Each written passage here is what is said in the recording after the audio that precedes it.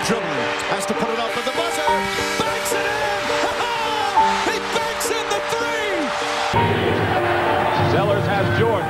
Jordan with two seconds to go. Puts it up and scores at the buzzer. Michael Jordan has won it for Chicago. With three seconds to go. Two seconds. One second. West throws it up.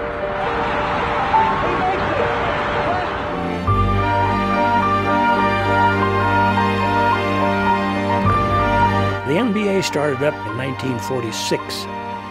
In that day, nobody jumps, you see. Everybody had to keep both feet on the floor or the coach would take you out of the ball game.